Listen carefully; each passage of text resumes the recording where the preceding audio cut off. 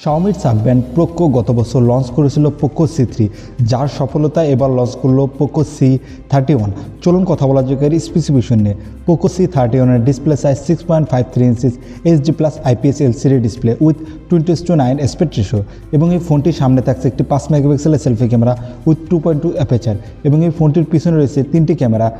তেরো মেগাপিক্সেলের main camera with two point two aperture এবং টু মেগাপিক্সেলের মাইক্রো ক্যামেরা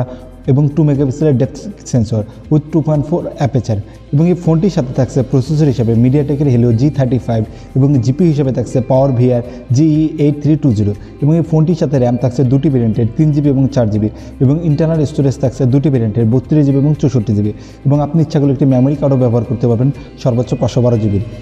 ফোনটির সাথে থাকছে পাঁচ হাজার এমএসির একটি ব্যাটারি যা ten watt fast charging supported এবং ফোনটিতে অপারেটিং সিস্টেম হিসেবে থাকছে অ্যান্ড্রয়েড টেন এবং ইউআই হিসেবে ব্যবহার করছে এমআই ইউআই টুয়েলভ এবং এই ফোনটির ফিঙ্গারপ্রিন্ট দেওয়া হয়েছে সাইডে এবং এই ফোনটিতে কানেক্টিভিটি হিসেবে থাকছে four G WiFi Bluetooth GPS three point five M M headphone jack micro USB charging port এবং এই ফোনটির ডাইমেনশন হচ্ছে একশো চৌষট্টি মিলিমিটার